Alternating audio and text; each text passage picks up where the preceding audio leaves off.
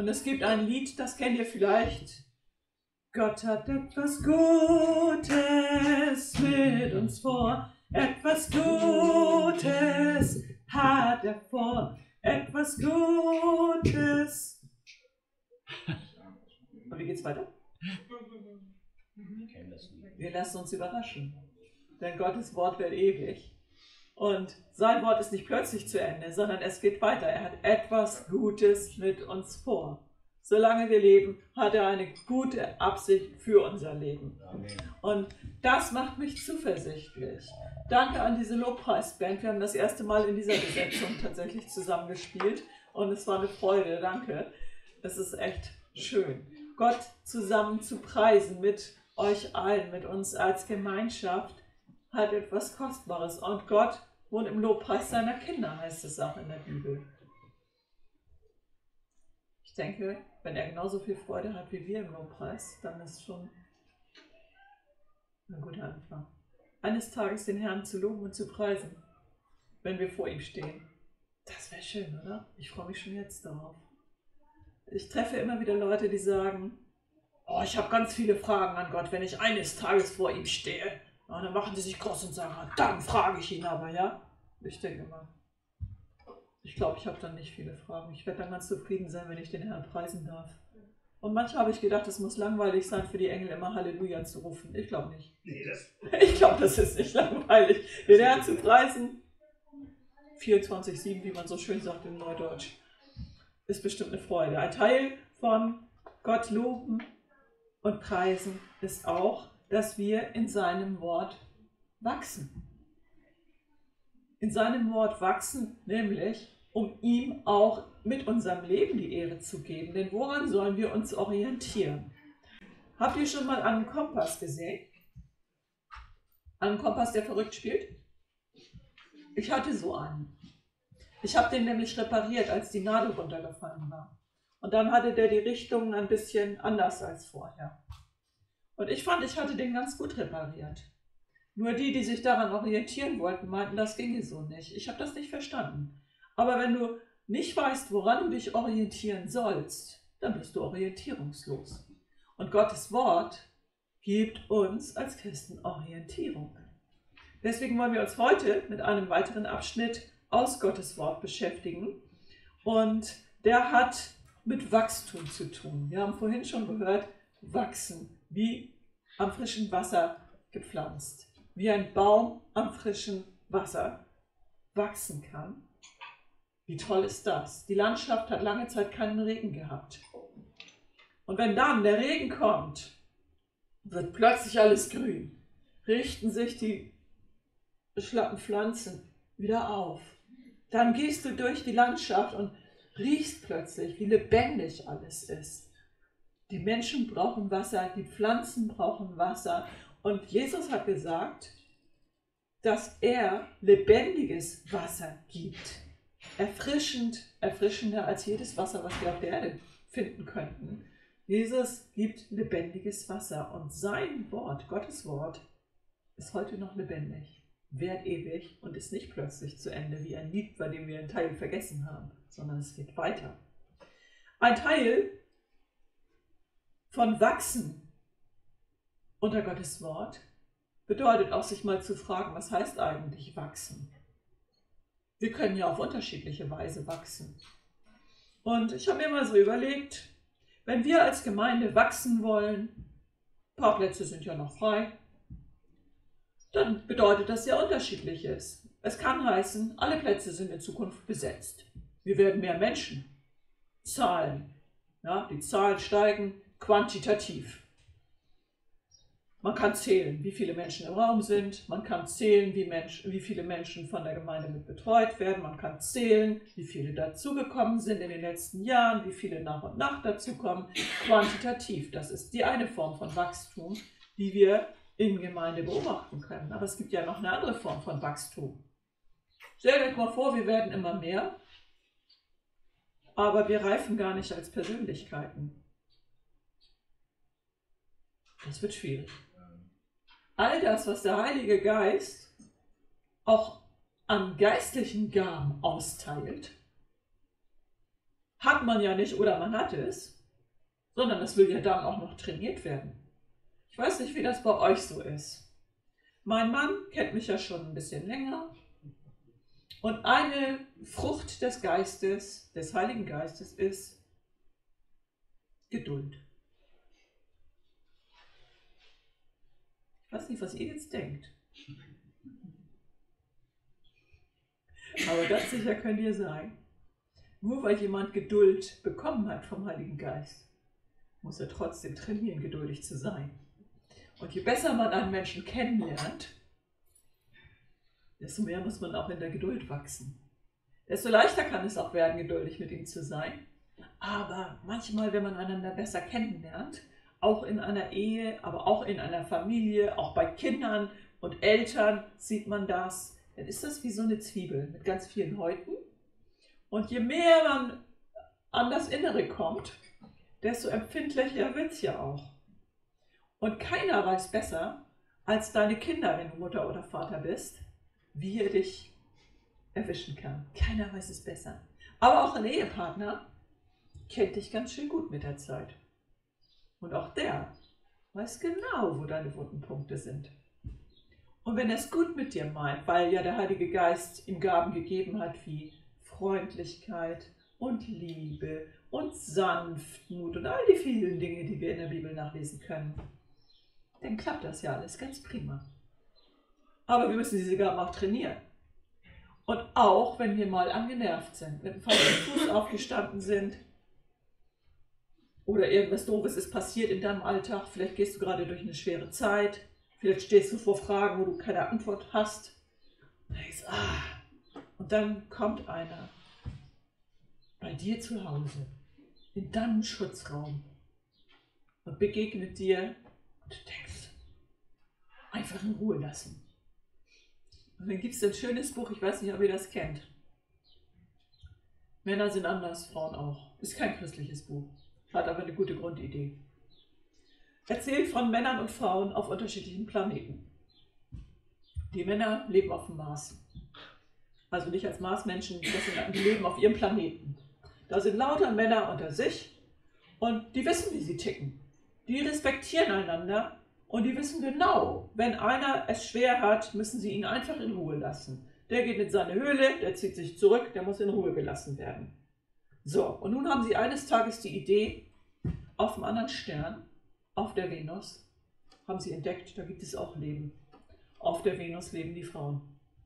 Und die Frauen ticken anders. Wenn es einer Frau schlecht geht, muss sie sich mitteilen. Dann geht sie nicht in ihre Höhle. Nein, nein. Dann muss sie mit ihren Freundinnen reden. Dann muss sie mit den Nachbarinnen reden, die sie gerne hat. Dann muss sie sich austauschen. Dann braucht sie Kommunikation. So, nun kommen also diese Männer vom Mars auf die Venus. Und sie lernen einander kennen, die Männer und die Frauen. Was passiert? Es entstehen Ehepaare und die lernen einander kennen, so nach und nach. Und dann geht es der Frau schlecht. Die hat gerade irgendwas Schlimmes erlebt an ihrem Arbeitsplatz und der Mann sagt, einfach in Ruhe lassen. Sie muss in ihre Höhle gehen, nicht drüber reden, nicht dran rühren, schön in Ruhe lassen. Und sie sagt, wieso redet er nicht? Er könnte ja wenigstens fragen. Und wenn es mir so schlecht geht, er könnte ja wenigstens Anteil nehmen. Aber nein, er lässt sie in Ruhe, weil sie muss in der Höhle bleiben. Und sie verstehen einander nicht, es kommt zu Missverständnissen. Nun geht es an einer anderen Stelle, nachdem sie das also so ein bisschen miteinander geklärt haben, umgekehrt dem Mann mal nicht gut. Und seine Frau nimmt Anteil am Geschehen und fragt ihn, Schatz, was ist denn mit dir? Und kann ich irgendwas für dich tun? Und willst du nicht drüber reden? Und es ist doch so. Sie packt die ganze Kommunikationsarie aus und er sagt, lass mich einfach in meiner Höhle. Und sie sagt, aber es ist doch wichtig, wir müssen doch reden. Ja? Und er sagt, Lass mich einfach. Kennt ihr solche Situationen? Missverständnisse. Gibt es zwischen Eltern und Kindern, gibt es zwischen Ehepaaren, gibt es überall. Auch in einer Gemeinde gibt es Missverständnisse. Der eine denkt, alle ticken, wie er tickt. Und umgekehrt. Und dann stellen wir fest, es menschelt überall. Wir sind alle etwas unterschiedlich. Und dann sollen wir auch noch wachsen in geistlichen Gaben und natürlichen Gaben. Aber das ist ja eine Aufgabe. Wenn alle gleich ticken, Es ist ja einfach, dann versteht man einander ja viel leichter. Aber es wäre auch ziemlich langweilig. Gott hat uns alle einzigartig geschaffen. Und zu lernen, gut miteinander umzugehen, Gemeinschaft zu leben, bedeutet auch, wir sind gefordert zu wachsen. Unter dem Wort Gottes zu wachsen. Wie ein Baum gepflanzt am frischen Wasser. Und Gottes Wort lehrt uns verschiedene Aspekte, nämlich nicht nur quantitatives Wachstum. Es gibt Zahlen in der Bibel, aber auch qualitatives Wachstum. Wachsen an Tiefe, wachsen an Breite, indem wir uns mit Gottes Wort beschäftigen, es wiederkäuen. Habt ihr mal eine Kuh gesehen auf der Weide? Was macht die? Ich mache mal eine typische Mundbewegung, mache ich jetzt nicht vor der Kamera. Aber die käut wieder, oder? Die beschäftigt sich mit ihrem Essen. Immer wieder. Oder wie oft käut die das wieder? Ich weiß das nicht so genau. Aber die ist damit beschäftigt, ne? Immer wieder mit ihrem Essen beschäftigt. Und wenn wir so mit Gottes Wort beschäftigt wären, wie schön wäre das denn? Wenn wir Gottes Wort immer wieder durcharbeiten würden.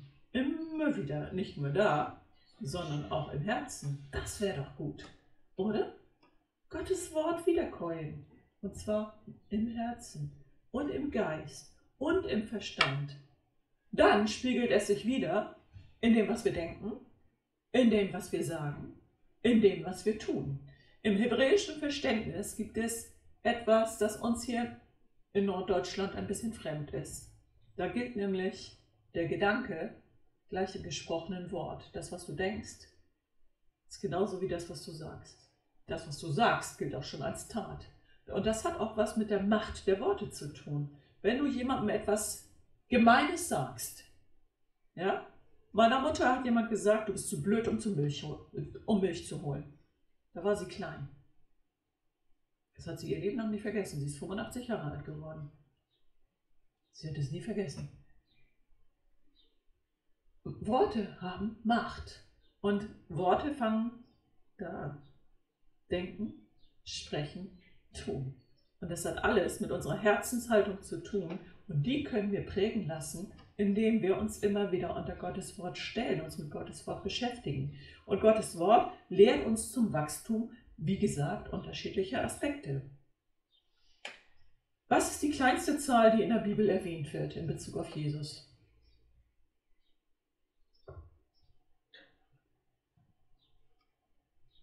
Was meint ihr? Eins. Eins? In welchem Zusammenhang zum Beispiel kommt eine Eins vor? Ich und der Vater sind eins. Aha, ich und der Vater sind eins. Okay. Und er wendet sich auch jedem einzelnen Menschen zu. Er sieht jeden Einzelnen. Er sieht einen einzigen Menschen. Wie toll ist das?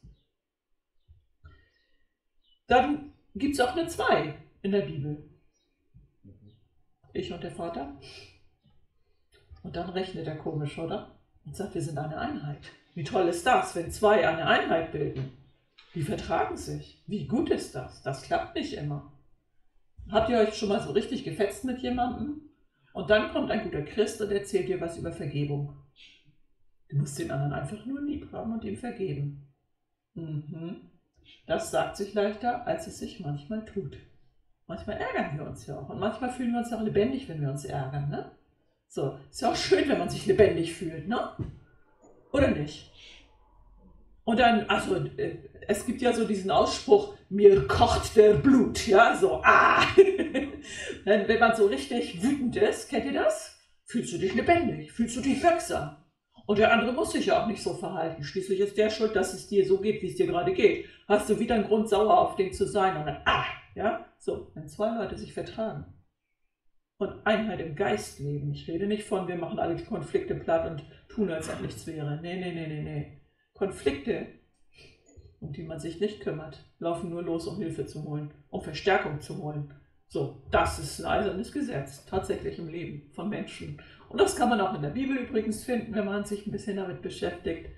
Aber Konflikte nicht zuzudecken, sondern drüber zu reden, über das, was einen beschäftigt. Vielleicht nicht, wenn einer gerade in der Höhle sein muss, sondern im richtigen Moment miteinander zu reden. Im ruhigen Moment, wenn beide sich beruhigt haben, abpassen, miteinander reden. Zwei, in Einheit im Geist. Wie schön ist das? Gibt es eine Drei? Wo zwei oder drei in meinem Namen versammelt sind. Ja, wo zwei oder drei in meinem Namen versammelt sind, da bin ich mitten unter ihnen, sagt Jesus. Drei. Gibt es auch eine vier?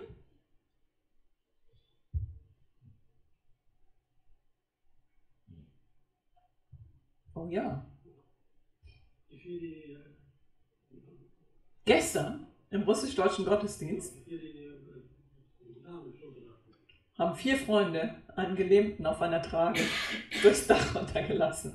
Jetzt könnten wir beliebig weitererzählen. Bei Jesus gibt es tatsächlich viele Zahlen. Das heißt, es gibt nicht nur qualitatives Wachstum, es gibt auch quantitatives, zahlenmäßiges, was bearbeitet wird in der Bibel. Und da geht es dann um zwölf Jünger nachher und dann geht es mal um 70. An anderer Stelle geht es dann um 120 und dann geht es mal um 3000 und dann geht es mal um 5000. Und wenn mich einer fragt, Claudia, was machst du, wenn Erweckung ausbricht und 3000 Leute in der FCG Zeven sind, dann denke ich, haben wir ein neues Problem. Platz ist in der kleinsten Hütte, aber wenn 300 Leute plötzlich, äh, 3000 Leute plötzlich vor der Tür stehen, machen wir Open Air Gottesdienst auf dem Nachbargrundstück.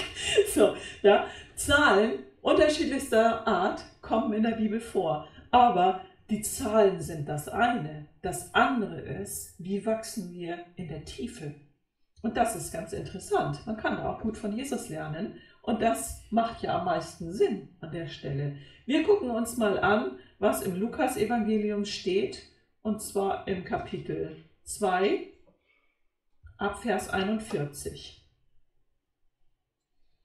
Und seine Eltern reisten jährlich am Passafest nach Jerusalem. Und als er zwölf Jahre alt war, gingen sie nach Gewohnheit des Festes hinauf. Und als sie die Tage vollendet hatten und wieder heimkehrten, blieb der Knabe Jesus in Jerusalem und seine Eltern wussten es nicht. Da sie aber meinten, er wäre unter den Gefährten, zogen sie eine Tagesreise weit und suchten ihn unter den Verwandten und Bekannten.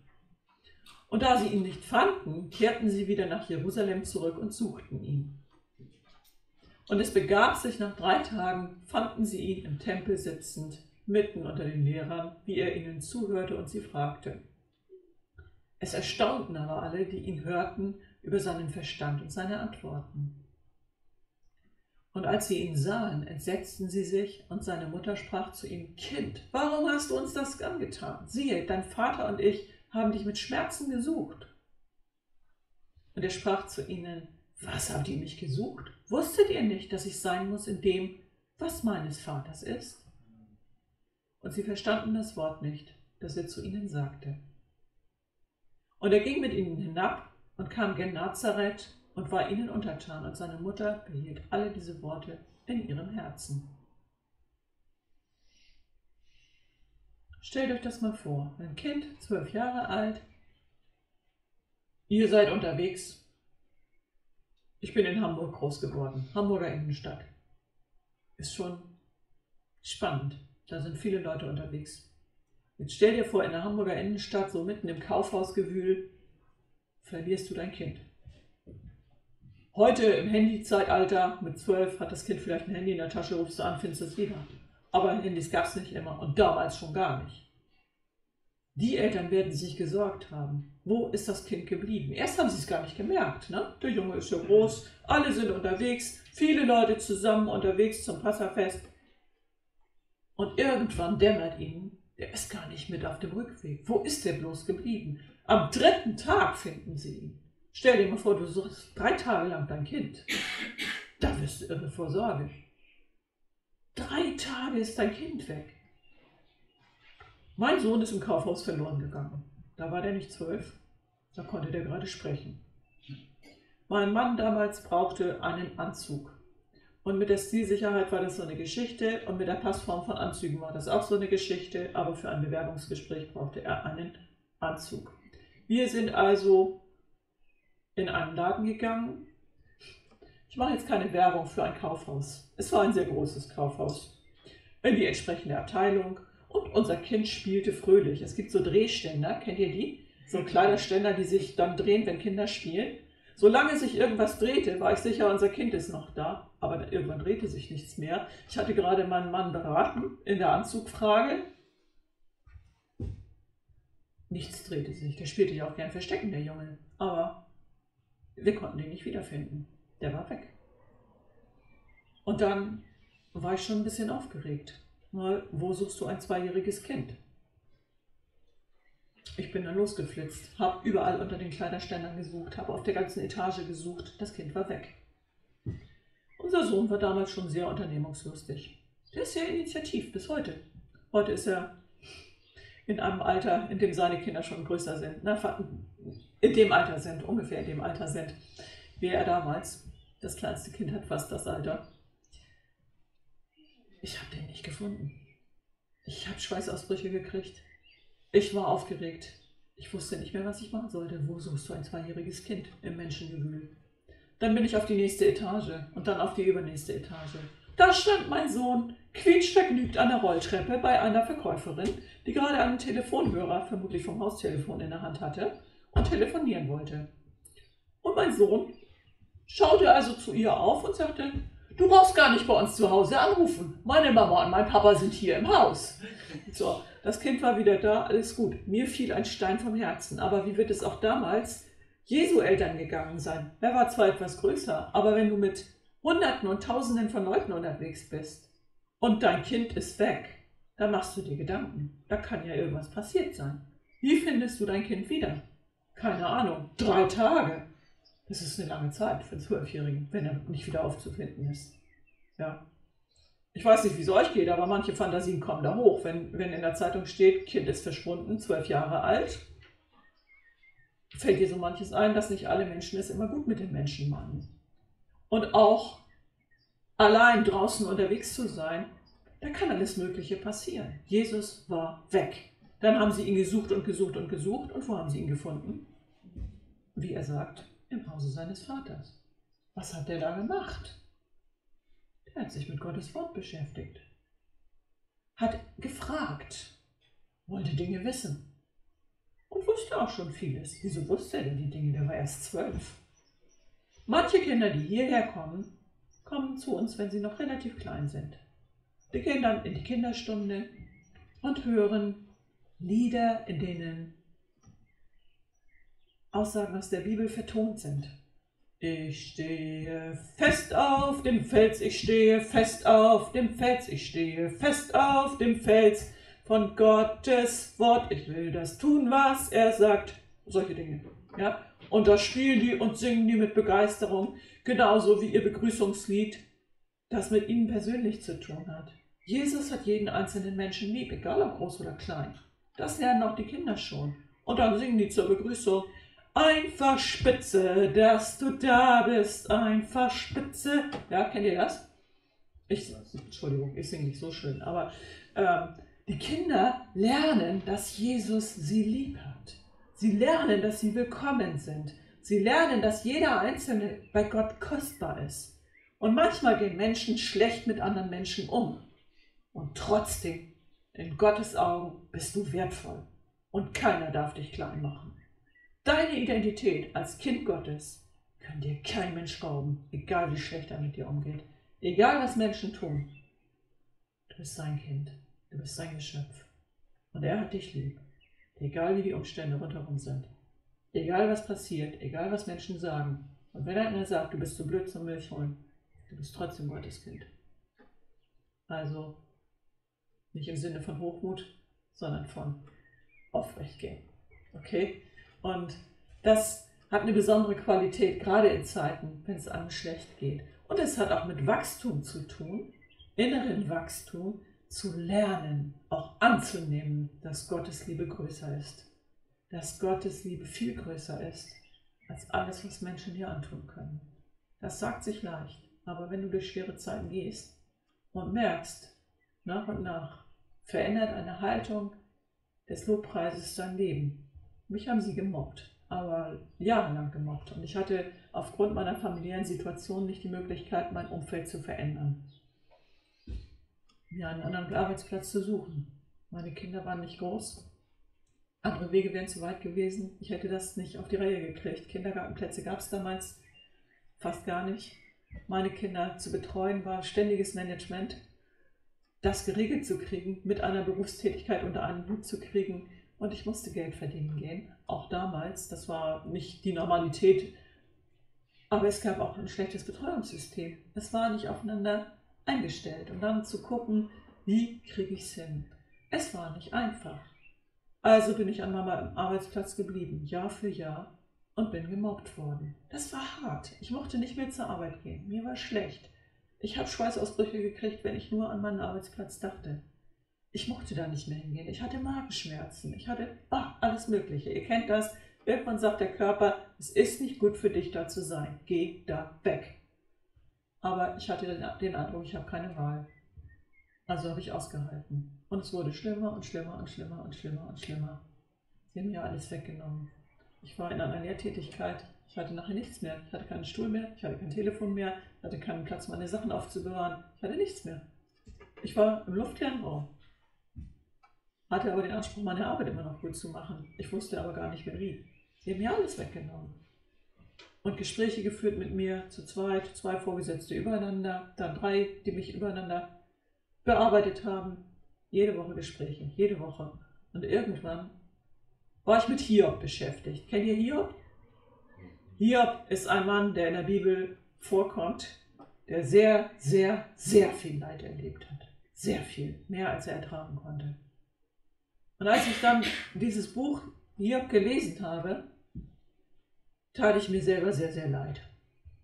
Und hatte viel Mitgefühl mit mir, weil ich durch so schwere Zeiten gegangen bin. Ich gedacht, ja, wie Hiob. Ich habe mich sehr mit ihm identifiziert. Aber ich habe gebetet und gesagt, ja, was willst du mir damit jetzt zeigen? Ich habe wochenlang Hiob gelesen. Und auf einmal musste ich lachen über mich selber, weil der Heilige Geist mir eine Erkenntnis geschenkt hat. Die Erkenntnis war, du musst Gott mehr vertrauen. Hiob hat so viel Schweres erlebt, dass es für ihn schwer war, Gott zu vertrauen. Und als ich in dieser schweren Zeit war und der Heilige Geist mir gezeigt hat, vertraue Gott. Er ist größer als deine miserable Situation. Er ist viel größer als deine Umstände. Er hat alles in seiner Hand, auch dein Leben. An der Stelle musste ich so laut lachen, habe ich gedacht, das ist jetzt echt ein bisschen gemein. Ne? Du liest hier und fängst an zu lachen. Das ist ja wirklich schon ein bisschen seltsam. Aber ich musste über mich lachen und fühlte mich wirklich vom Heiligen Geist überführt, weil ich dachte, ja, genau. Trau Gott mehr zu. Er ist größer und er kann, auch heute noch. Und dann bin ich über den Flur gegangen. Es war ein langer Flur, es war eine alte Kaserne, die umgebaut worden war zu einem Bürotrakt. Und ich bin gegangen und gegangen und gegangen und habe gedacht, die Leute, die mich da verachtet haben, sollen sie doch denken, was sie wollen. Ich habe den Herrn gepriesen, habe geheult die ganze Zeit und den Herrn gepriesen, bin über den Flur gelaufen. Und Gott hat es gedreht. In dem nächsten Gespräch, das ich mit diesem Vorgesetzten hatte, habe ich ihm gedankt. Haben die große Augen gekriegt. Ich möchte mich bei euch bedanken. Ihr habt mir viel Leid zugefügt, sehr viel. Aber eins habt ihr mir erspart, körperliche Gewalt. Danke dafür. Alles andere haben wir jetzt durch. Aber egal, was ihr tut, eins könnt ihr mir niemals rauben. Ich bin Gottes geliebtes Kind. Und egal, wie schlecht ihr mit mir umgeht, den Teil werdet ihr nie zerstören. Den Teil werdet ihr nicht rauben. Interessanterweise haben sie nie wieder mich zum Gespräch eingeladen. Sie haben mich in Ruhe gelassen. Und Gott hat mich versorgt mit einem guten Arbeitsplatz, an dem ich noch viele Jahre mit Freude und Dankbarkeit gearbeitet habe. Gott mehr zuzutrauen, ist auch ein Lernprozess. Und Gott vertrauen hat auch mit Wachstum zu tun, mit Reife zu tun. Und manchmal denkst du, ah, ja, wie schön wäre das, wenn Gott das einfach mal kurz machen würde, ja? Es wäre doch viel einfacher und viel bequemer. Wo bleibt dann deine Geduld? Manchmal betest du jahrelang für etwas. Ich habe mit einer Frau zu tun gehabt, Jahrelang habe ich gebetet, dass wir eine Lösung finden für ein Problem, mit dem sie zu kämpfen hatte. Jahrelang. Sieben Jahre habe ich gewartet. Und auf einmal hat der Heilige Geist zu mir gesprochen. Ich war, habe mal wieder meinen Bus verpasst hier, weil ich noch mit jemandem im Gespräch war. Ich wusste, irgendwann fährt wieder ein Bus. Das war nicht das Problem, das ging schon. Aber ich bin dann durch die Innenstadt gegangen und auf einmal sagt der Heilige Geist zu mir, Geh in das Geschäft. Bitte? Geh in das Geschäft. in Optiker. Und dann? Dann sagst du ihm, was du willst. Klar. Ich gehe in das Geschäft und sage ihm, er möchte mal eine Brille für jemanden spenden, der eine braucht. Ich bin an dem Geschäft vorbeigegangen. Fünf Meter. Dann bin ich wieder umgedreht. Dann bin ich in das Geschäft gegangen und habe dem Optiker gesagt, guten Tag, ich bin die und die, Pastorin der Freien Christengemeinde und ähm, in meinem Umfeld ist eine Frau, die dringend eine Brille benötigt, finanziell ganz schlecht aufgestellt. Und sehen Sie da irgendeine Möglichkeit, spendentechnisch etwas zu machen? Ich dachte so an diese Strategie Fahrstuhlgespräch aus dem Fundraising, ja, so 30 Sekunden, sag was du, ja, überzeug den. Was ich nicht wusste, aber der Heilige Geist schon, da saß der Chef des, des Betriebs, der nur selten da ist. Und der sagt, da können wir was machen. Ich sag, bitte? Ja, können wir machen. Ich, Sie kriegen auch eine Spendenbescheinigung, wir kriegen das geregelt. Wir sind ein Verein, das können wir machen. Er sagt, ja, ist gut, machen wir. Der Heilige Geist überrascht mich immer wieder. Was heißt das? Ich traue Gott ja immer noch nicht genug zu. Aber an der Stelle umzudrehen und zu sagen, okay, Gott, wenn du sagst, geh da rein, ich gehe da rein. Tu's. Gehorsam zu lernen, auch wenn wir manches nicht verstehen, bedeutet manchmal auch zu riskieren, dass Leute Komisches über dich denken. Das kann passieren. Mittlerweile hat die Frau eine Brille, hat die Frau wieder eine viel bessere Sicht, freut sich, sowas ist ihr noch nie im Leben passiert, die kann es bis heute nicht fassen. Und echt preiset den Herrn auch dafür. Und das Gute ist, sie fängt jetzt auch an, ihn zu preisen. Halleluja. Und darüber freue ich mich, weil ich denke, wie schön ist das, wenn ein Mensch, der durch so schwere Jahre geht, anfängt, Gott zuzutrauen, dass er auch diesen Menschen im Blick hat. Wie wunderbar ist das? Ja. Und in meinem Leben hat Gott viel verändert. Im Leben vieler hier hat Gott viel verändert. Und wir geben Zeugnisse, um einander auch zu ermutigen, indem wir davon erzählen, was Gott in unserem Leben getan hat. Und dann wachsen wir. Und zwar nicht nur an Zahlen, sondern auch innerlich. Wir reifen. Und so wie Jesus sich unter Gottes Wort begeben hat, unter das Wort seines Vaters begeben hat, es mehr lernen wollte, was steckt in Gottes Wort drin. Nicht zufällig ist er da im Tempel geblieben, nicht zufällig hat er gefragt, nicht zufällig hat er sich mit Gottes Wort beschäftigt. Jetzt wollte er auch wachsen. Den Willen des Vaters zu tun bedeutet, den Willen des Vaters zu kennen, sonst kannst du ihn nicht tun. Also, in Gottes Wort zu wachsen, hat verschiedene Aspekte. Unter sein Wort zu gehen, zum Beispiel in einem Gottesdienst, zum Beispiel indem du Lieder singst. Ich meine, du kannst ja auch irgendwelche Lieder singen. So, es gibt ja unterschiedliche Ausrichtungen, ne? Ich weiß nicht, ob ihr das Hurricane Festival kennt. Die singen da ein bisschen andere Lieder als wir hier. So, die Ausrichtungen sind ziemlich unterschiedlich. Und auch da gibt es unterschiedliche Menschen, die da hingehen und sagen, wo Finsternis unterwegs ist, ist es auch gut, Licht hinzubringen. So, und zu gucken, guckst du mehr zum Kreuz, dann drehst du den Rücken der Sünde zu. Oder drehst du dich mehr zur Sünde, dann drehst du dem Kreuz den Rücken zu. Beides gleichzeitig kannst du nicht tun. Also mehr auf Jesus zu schauen und dich an ihm auszurichten. Gottes Wort als Kompass zu benutzen, hilft dir zu wachsen, zu beten, zu fragen, Herr, was willst du eigentlich? Soll ich wirklich zu diesem Optiker reingehen? Ja. Schlichtes Ja. Manchmal redet Gott nicht viel. Manchmal ist er ganz kurz angebunden. Ja. Na, dann mach mal.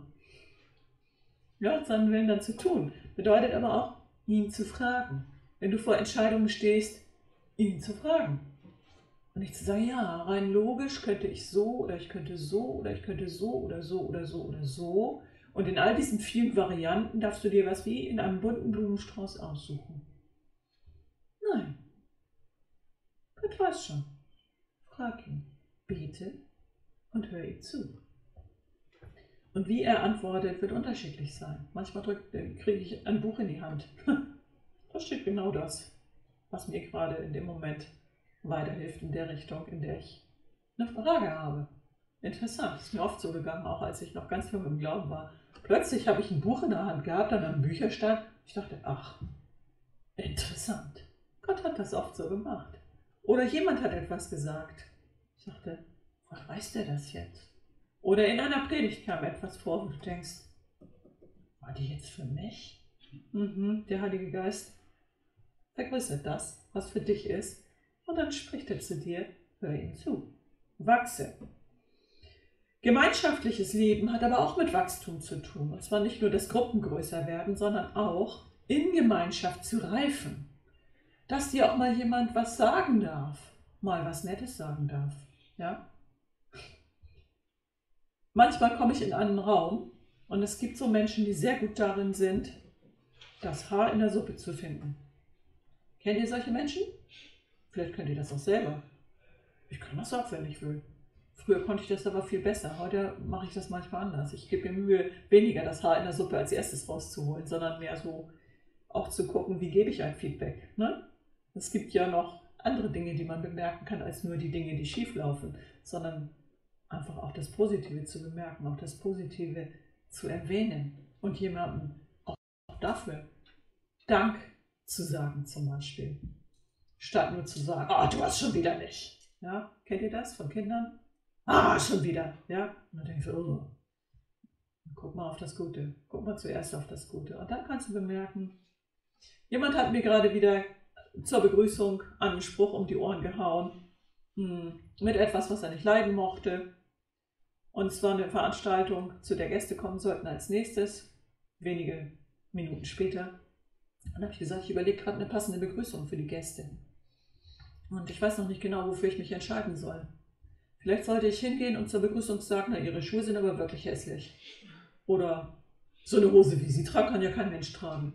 Oder so, wie wäre das denn? Sagt diese Person, das kannst du doch nicht wirklich machen. Nee, sag ich, ist keine gute Begrüßung, ne?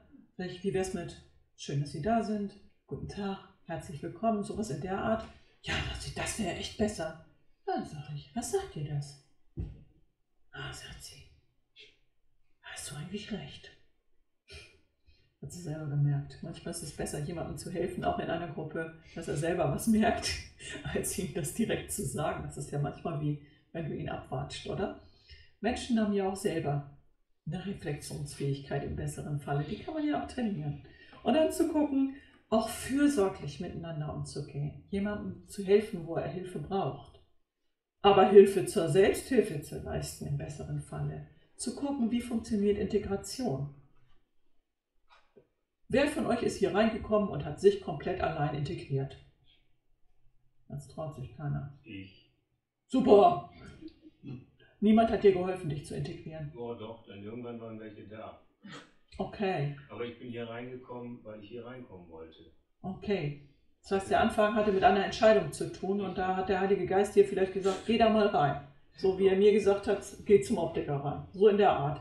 Ja, und dann bist du unter Gottes Wort hier gekommen Ja. und irgendwann warst du aber nicht der Einzige, der sich integrieren wollte, sondern vielleicht waren da auch Leute, die gesagt haben, oh, den kennen wir noch gar nicht. Genau. Auf den gehen wir mal zu. Den fragen wir mal, was der hier eigentlich macht. Oder sowas in der Art, ja. Ähm, vielleicht hat sich ein gutes Gespräch daraus ergeben, vielleicht hast du nach und nach Leute kennengelernt, vielleicht hast du dann nach und nach deinen Platz in Gemeinschaft gefunden. Mal knirscht und knatscht das so ein bisschen, denn das kann mal passieren, aber es menschelt überall und wenn wir den Teil mal rausrechnen und gemeinsam einen Weg gehen wollen, dann kriegen wir das auch miteinander hin, so im Allgemeinen. Und Integration hat eben unterschiedliche Aspekte. Der Mensch, der sich integrieren will und hineinwachsen will in eine Gemeinschaft, auch eine Kleingruppe vielleicht oder in eine Schulklasse oder in ein Arbeitsteam oder was auch immer, eine Gemeinde. Und auf der anderen Seite hat es auch den Aspekt von Aufnehmen. Darf überhaupt jemand dazukommen? Ist es überhaupt erwünscht, dass Menschen dazukommen? Oder erwarten wir von denen, dass sie genauso ticken wie wir? Weil wenn wir schon 30 Jahre durchgeheiligt sind, dann können wir ja schließlich erwarten, dass das bei jedem anderen auch so ist. So. Und wenn der sich nicht entsprechend verhält, dann teilen wir das dem erstmal mit, wie das hier funktioniert. So. Und zwar ernsthaft, weil wir ernsthafte Christen sind. Und vielleicht sagt er, da gehe ich lieber in die Lach- und, und Spaßgesellschaft. Das ist mir hier zu ernsthaft. Das brauche ich auch nicht in meinem Leben. Und vielleicht zu gucken, nein, es hat immer diese beiden Aspekte. Ne? Einer kommt dazu und möchte Teil werden von und auch für eine Gruppe aufnehmend zu sein. Jemandem auch die Gelegenheit zu geben, hineinzuwachsen, manches kennenzulernen, die Leute kennenzulernen und einfach auch Mensch sein zu dürfen. Wenn du nicht Mensch sein darfst, wo du bist, wenn du dich nur verbiegen musst, nee, ist auch nicht schön, oder? Und dann zu gucken, Integration kann auch in Kleingruppen manchmal leichter stattfinden als in einer Großgruppe. Wenn du in einen Raum kommst und da sitzen 30 Leute, das kann für jemanden noch viel zu viel sein. Dann kommst du in eine größere Gemeinde, da sind womöglich 1000 Leute in einem Raum. Das überfordert ja manche Leute völlig. Und wie lernst du die alle kennen? Nicht 1000 auf einmal, auf gar keinen Fall. Aber in Kleingruppen, in einem Hauskreis, in einem Dienstbereich, in dem du dich dann nach und nach einklingst, wo du mal schnupperst, ist das was für mich, in einer Lobpreisgruppe, wo du sagst, ja, Lobpreis mag ich schon. Hm, ich kann die anderen ja mal kennenlernen. Vielleicht passt das irgendwie zusammen, ja. Vielleicht können wir sogar zusammen musizieren. Und Einheit im Geist drückt sich auch musikalisch dann irgendwann aus, ne? Aufeinander zu achten. Das hat verschiedene Aspekte, man hört das auch manchmal. Und in die Einheit im Geist dann auch andere Menschen mit hineinzunehmen im Lobpreis. Wie schön ist das denn? Es hat aber auch neben diesem Kleingruppencharakter und dem gemeinschaftlichen Leben diesen Aspekt von dienstbereitem Leben im Dienst, zum Beispiel in einer, in einer Dienstgruppe, einem Lobpreisteam, einem Technikteam, einem Kaffeeteam oder was für ein Team auch immer, ähm, zu wachsen im Dienst. Miteinander zu wachsen Zusammenzuarbeiten macht sehr viel mehr Spaß als allein, oder? Heute gab es ein leckeres Buffet. Das hat nicht eine Person gemacht. Da haben mehrere zusammen dran gearbeitet. Dankeschön dafür. Das war echt super. Und zusammen macht das sehr viel mehr Spaß, als wenn man allein davor steht und einen Weinberg umgraben soll, wie jemand in der Bibel, ja? Der sieht den Weinberg und sagt, oh, ist der riesig. Das schaffe ich ja nie. Im Team zusammen zu Arbeit zusammen zu wirken und dienstbereit zu sein, persönlich zu reifen, ist was Tolles. Da steckt Entwicklung drin, persönliche Entwicklung und dann nicht nur Gutes zu tun, sondern auch darüber zu reden und euch zum Beispiel zu erzählen, was der Optiker Tolles getan hat. Das motiviert dann wieder andere, die sagen, der hat was Gutes getan. Ich habe auf seinen Dankesbrief etwas geschrieben. Da steht drauf, Anstifter. Gutes tun, Gutes erleben. Und wenn man darüber ein bisschen mehr nachdenkt, das war sowas, was Gott mir vor einiger Zeit sehr plastisch vor Augen gestellt hat und ich habe dann versucht, das zu visualisieren. Gutes zu tun und auch Gutes zu erleben. Beides. Der eine tut etwas Gutes und hat etwas gespendet, der andere hat dadurch etwas Gutes erlebt. Und alles, was man manchmal tun muss, ist Menschen anstiften dazu dass sie auch mal auf die Idee kommen, hey, eigentlich gar nicht so schwer. Wäre eigentlich gut. Ja? So, und dann zu gucken, auch drüber zu reden, hinzugehen, den, denjenigen nochmal Danke zu sagen. Nochmal zu sagen, ja, wir haben das gesehen und vielen, vielen Dank. Und Ihre Spendenbescheinigung kriegen Sie auch, na klar. Aber persönlich, danke. Und genauso jetzt nicht darüber, aber an anderen Stellen in einer Zeitung zu berichten. Was gibt es eigentlich in Gemeinde zu erleben? Woher soll denn einer wissen, dass es Spaß machen kann, in Gemeinde zu sein? Kann ja auch ganz schön blöd sein. Ne? Kirche ist ja schon eine ganz schön alte Institution und ganz schön langweilig manchmal. Je nachdem. Drüber zu reden, was gibt es hier Tolles zu erleben? Ein leckeres Buffet zum Beispiel. Danke für alles, was ihr mitgebracht habt. Ja? Zusammen im Gottesdienst zu sein, womöglich zu wachsen, zu erleben, was Gott im Leben von Menschen tut. Wie toll ist das denn? Zusammen zu musizieren. Und zwar auch noch Lieder, die neuer sind als von 1648. Hey, ich mag das. Ich mag auch die alten Lieder, ja. Aber ich genieße das auch, mal unterschiedliche Lieder zu spielen. Gott zur Ehre. Wie schön ist das? Zusammen zu singen, den Herrn zu preisen. Wie schön ist das? Und darüber dann auch zu reden, auch im Internet zum Beispiel zu sagen, hey, da ist was los da will ich mal dabei sein. Kann ja jemand dann denken. Und auf der anderen Seite auch zu sagen, die größte Botschaft, mit der wir unterwegs sind, ist immer noch das Evangelium. Eu heißt gut und Angelion ist die Botschaft, die gute Botschaft von Jesus. Wir können viel reden über alles Mögliche, aber die gute Botschaft von Jesus, von dem wir vorhin auch gehört haben, wie er in Gottes Wort sich bewusst immer wieder hineinbegeben hat, darin gewachsen ist, um den Willen des Vaters zu tun. Und Jesus war sich nicht zu schade, Mensch zu werden, klein zu werden. Vorhin haben wir von dem zwölfjährigen Jesus gehört. Und dann später ans Kreuz zu gehen. Nicht nur um zu sterben, das war schwer, das war bestimmt unglaublich schwer. Das war ein Riesenopfer, das größte Opfer, das er bringen konnte, als sündloser Sohn Gottes. Aber auch aufzustehen, aufzuerstehen, das Kreuz zu verlassen und nachdem sie ihn begraben haben, aufzuerstehen von den Toten und zur Rechten des Vaters zu sitzen, von dort wiederzukommen eines Tages. Wir wissen nicht wann. Aber wenn wir uns gut vorbereiten und in Gottes Wort wachsen, reifen, als Christen, als Menschen und als Christen und andere einladen, sich auch mit Gottes Wort zu beschäftigen, Jesus lieb zu gewinnen und treue Nachfolger in seinem Wort und im Glauben an ihn zu sein. Wie schön ist das? Das fängt bei den Kleinen an. Auch bei Zwölfjährigen geht das weiter.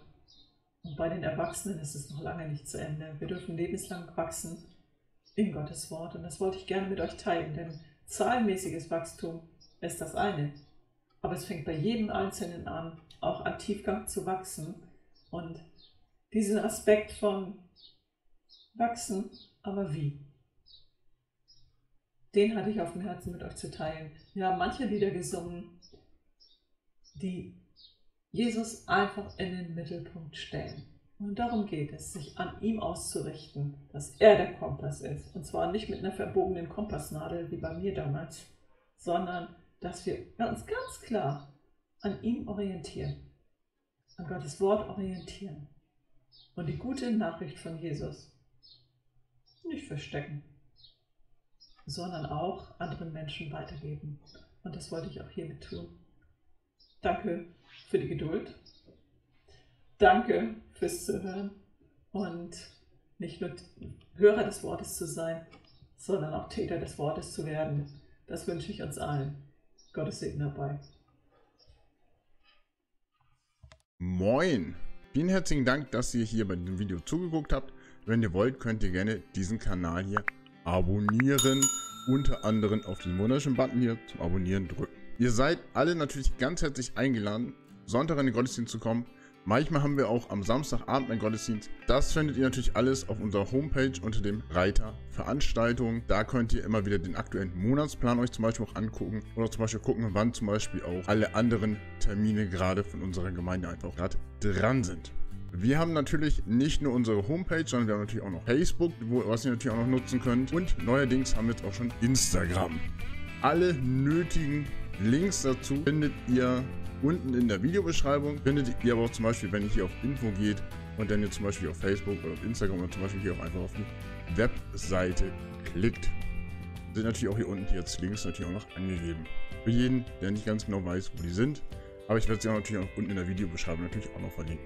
Ich wünsche euch noch einen schönen gesegneten Tag und bis zum nächsten Mal. Tschüss.